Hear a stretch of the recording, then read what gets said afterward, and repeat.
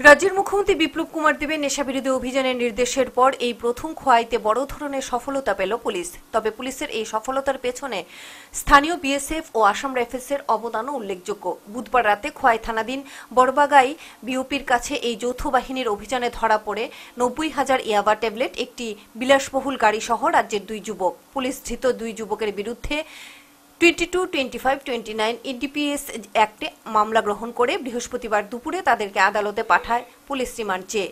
এই মামলার তদন্তকারী অফিসার বিক্রম দাস জানান, ধৃত যুবকদের মধ্যে একজন আবুল খায়ের বাড়ি মেলাঘর এবং অপরজন মোহাম্মদ মামুনুল ইসলাম বাড়ি সোনামুড়া। পুলিশ রিমান্ডে এনে ধৃতদের জিজ্ঞাসাবাদ করার পরই প্রকৃত ঘটনা জানা যাবে।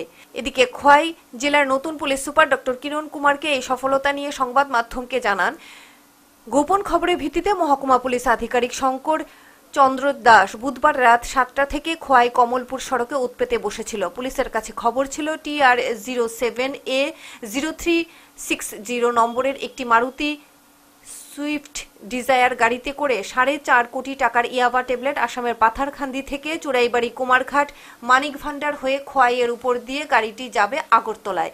সেই সূত্রে পুলিশ রাতে বেহালা বাড়িতে গাড়িটির পিছু ধাওয়া করলে গাড়িটি দ্রুত বাঁচাইবাড়ি খোয়াই সড়কে পালাতে শুরু করে। সঙ্গে সঙ্গে বড়বাগায় স্থিত একশো একানব্বই নম্বর ব্যাটালিয়ন বিএসএফ এবং স্থানীয় আসাম রাইফেলসকে এই বার্তাটি জানানো হয়। শেষে রাত দশটা নাগাদ বড়বাগাই বিএসএফ এর জওয়ানরা তাদেরকে বিওপির সামনে গাড়িটি আটক করে। পরে স্থানীয় পুলিশ ও বিএসএফ মিলে গাড়িটিতে তল্লাশি চালালে গাড়ির চারটি দরজার ভেতর থেকে উদ্ধার হয় চল্লিশ হাজার ইয়াবা ট্যাবলেট।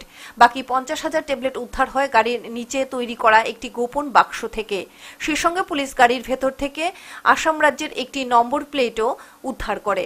উল্লেখ্য, ইতিপূর্বেও বহির্রাজ্য থেকে এভাবে নেশা সামগ্রী এই রাস্তা ধরে আগরতলা যেতে গিয়ে পুলিশ ও বিএসএফ এর হাতে ধরা পড়েছিল বহু গাড়ি। প্রশ্ন উঠছে, চুড়াইবাড়ি থেকে কমলপুরের মানিক ভান্ডার পর্যন্ত এই রাস্তায় অনেকগুলো থানা পেরিয়ে কীভাবে ড্রাগস কারবারিরা নিরাপদে চলে আসছে? Bureau report, headlines Tripura.